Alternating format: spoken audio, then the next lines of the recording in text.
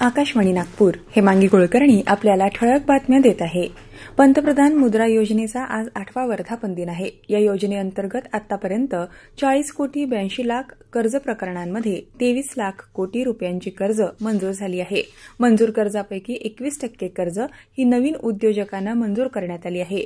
पंतप्रधान मुद्रा योजनेची सुरुवात दोन हजार पंधरामध्ये करण्यात आली होती. विज्ञानामध्ये नैतिकता ही अत्यंत महत्वाची असून वैज्ञानिकांनी ज्ञान आणि तंत्रज्ञानाबाबत पसरत असलेल्या चुकीच्या माहितीबाबत तसंच गैरसमजुतीबाबत दक्ष राहिलं पाहिजे असं मत केंद्रीय विज्ञान आणि तंत्रज्ञान विभागाचे सचिव ए एस चंद्रशेखर यांनी व्यक्त केलं. नागपूरच्या वर्धा रोड इथल्या राष्ट्रीय पर्यावरण अभियांत्रिकी संस्थेत आजपासून ते तेरा एप्रिल दरम्यान आयोजित वन वीक वन लॅब या कार्यक्रमाचं उद्घाटन त्यांच्या हस्ते झालं त्यावेळी ते बोलत होते.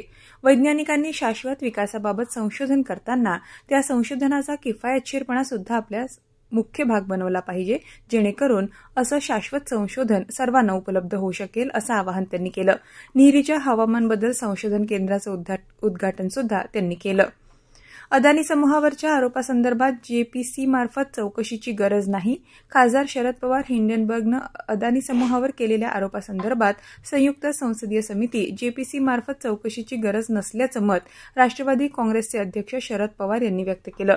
काल एका खासगी मुलाखतीत बोलताना त्यांनी जेपीसीमध्ये सत्ताधारी पक्षाचे बहुमत असेल त्यामुळे सत्य बाहेर येऊ शकत नाही असं नमूद केलं.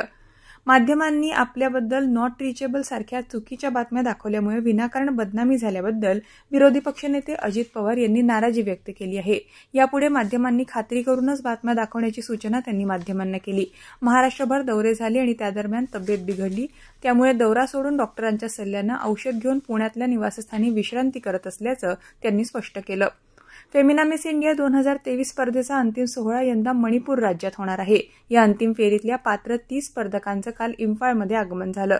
येत्या पंधरा एप्रिलपासून मणिपूरची राजधानी इम्फाळमधील लंपक मैदानावर स्पर्धेचा अंतिम सोहळा रंगणार आहे. फेमिना मिस इंडिया स्पर्धेचा अंतिम सामना प्रथमच देशाच्या ईशान्येकडील राज्यात आयोजित केला जातोय. आज वर्धा जिल्ह्यात काही ठिकाणी विजांच्या कडकडाटासह हलका पाऊस पडण्याची शक्यता आहे. दरम्यान विदर्भातील वाशिम चंद्रपूर यवतमाळ गोंदिया नागपूर आणि भंडारा जिल्ह्यात देखील काही ठिकाणी आज हलका पाऊस पडू शकतो.